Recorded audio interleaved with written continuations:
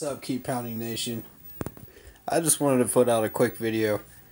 This is pretty funny. Uh, in case y'all haven't noticed, uh, Ray, a certain linebacker, Ray Lewis, put out an article or something like that, uh, saying that a particular Ravens linebacker was the best he'd ever seen.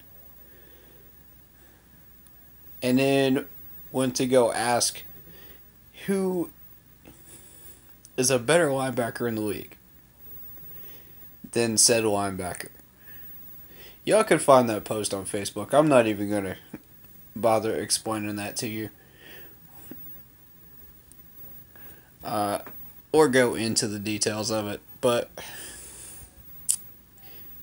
come on, man. Did you completely forget about the GOAT that we have in Carolina that has a 99 in Madden ratings this year? Like, Ray.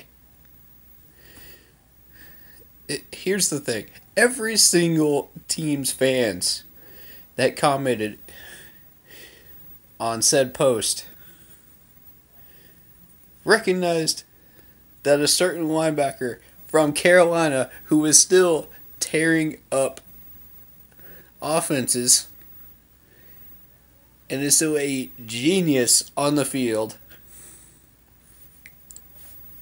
recognizes the man's genius. Come on, it's a no brainer.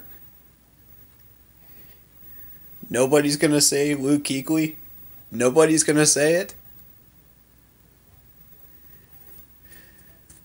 Of course they are. Every single comment is going to say Luke Kuechly because they recognize it, man. They recognize who he is. As much as I respect Ray Lewis and as much as I love his uh, playing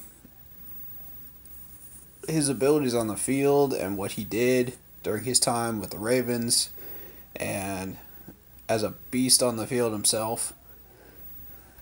Come on, man. Like, you're gonna shaft Luke Kuechly like that? Like, that's dirty, bro. That's straight up dirty. Like, I.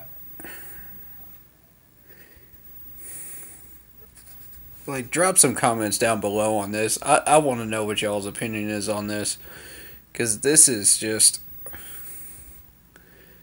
I mean, this is not even training camp related. This is not even uh, anything related except for Ray Lewis just being Ray Lewis nowadays. And I respect him as an analyst, I respect him as an ESPN person. But here's the thing ESPN has gone down the drain, and so have their commenters. I don't even know if he's he's actually working for ESPN or not, but generally speaking, most of them end up uh, commentating for ESPN at some point or another. But it, if you don't recognize, or you're going to leave off the name Luke Kuechly off the linebackers list for GOATs, come on, man.